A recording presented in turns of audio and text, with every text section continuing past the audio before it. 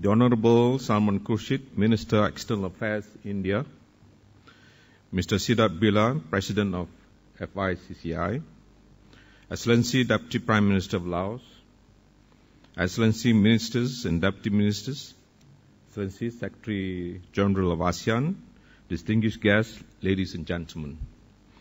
At the outset, allow me to congratulate the Government of India for organizing the Delhi Dialogue 6 today. I also would like to express my appreciation to the host government for the warm hospitality and the excellent arrangement made for this dialogue. It is indeed a pleasure for me to join colleagues from ASEAN and India to participate in today's dialogue. The convening of this year's dialogue is indeed another testimony of the commitment of the part of India in strengthening the ASEAN-India dialogue relations. Since the inception of the ASEAN-India dialogue relations, ASEAN and India have witnessed a strengthening and deepening of their relations. This strong bond was further cemented by the adoption of the ASEAN-India vision at the 20th ASEAN-India Commemorative Summit in December 2012, which elevated the relations between ASEAN and India to a strategic partnership. The vision calls for a stronger commitment by both sides to advance ASEAN-India relations across the whole spectrum of cooperation encompassing political security, economy, socio-cultural and development. For this, it is only apt and timely that the theme for this year's dialogue, realizing the India-ASEAN vision for partnership and prosperity, was chosen. It reflects our commitment and determination to fulfill the aspiration of our leaders. At the same time, it necessitates us to relook at what has been done and explore what still need to be achieved as we implement the ASEAN-India vision. I believe that in realizing this vision, our relations should continue to be multifaceted, building on our rich historic linkages in order to achieve a common goal of safeguarding peace, stability, prosperity, and economic growth of our region. Both ASEAN and India share a common vision that is aimed at promoting a peaceful and resilient region at the political front. The ever increasing challenges of globalization call for intensified efforts by all regional players to ensure the region's stability and resilience. As with the rest of the world, ASEAN and India are not exempted from having to react to this development. In responding to the various traditional and non-traditional security challenges faced by the region, we are happy to note that ASEAN and India have worked closely through the various ASEAN-led fora, such as the ASEAN Regional Forum and ASEAN Defense Ministerial Meeting. Plus, in support of our efforts to promote a sustainable, peaceful, and stable region, we must continue to strengthen these fora as important platforms to foster constructive dialogue and consultation on political and security issues. We also recognize India's role and active participation in the East Asia Summit.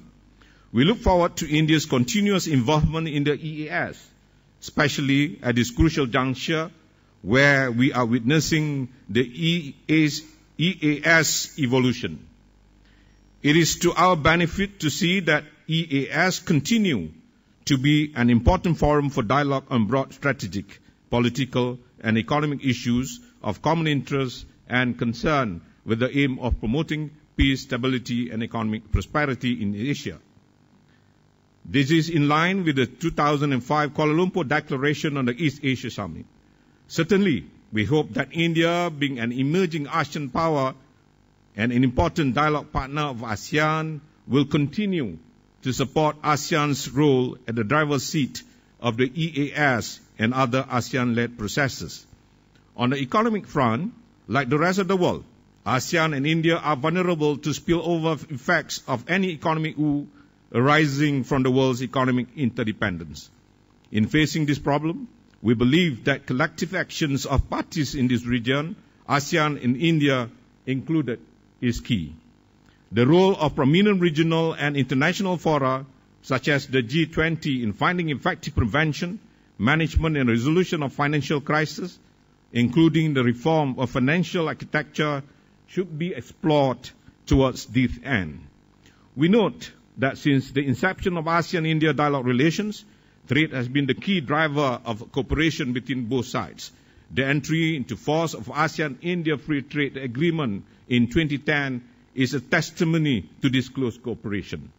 Given that the enhancement of economic integration would greatly benefit the growth of the region, ASEAN and India should continue to pursue with earnest, with earnest what have been stipulated in the FTA. This would include an early conclusion of the ASEAN India Trade Investment Center and the ASEAN India Services and Investment Agreement. In tapping the economic potential of the region, we should reactivate the ASEAN India Business Council as well as convene more trade fairs, business summits, and expos.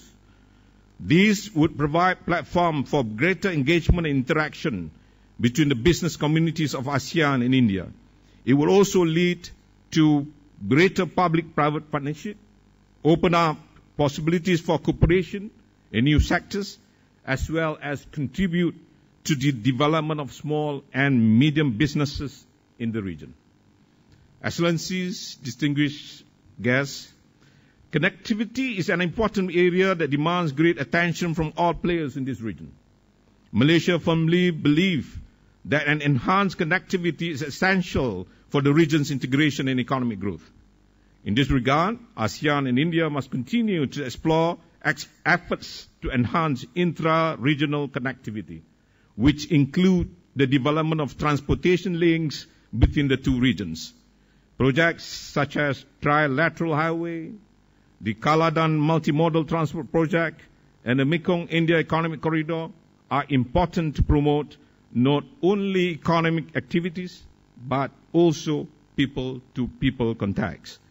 Increased people-to-people connectivity will definitely intensify the social cultural cooperation between ASEAN and India. The ASEAN-India Car Rally in 2012 taught us how physical connectivity can stimulate people's awareness of each other. We must develop more activities that promote such interaction. We also call for the ASEAN India Center, which will be operationalized soon, to play a pivotal role in promoting greater people eh, to people activities. This could include exchange programs among youth, media personnel, academic, academics, business community, and civil societies between ASEAN and India. Excellencies, distinguished guests, significant progress has been made in the ASEAN-India relations. However, we should recognize that the fact that the current state of our relations provides more significant room for improvement. We must continue to build on the good relations that we currently enjoy and move forward towards realizing the ASEAN-India vision for enhanced partnership and prosperity. With that, I wish the Delhi Dialogue 6 all success. Thank you.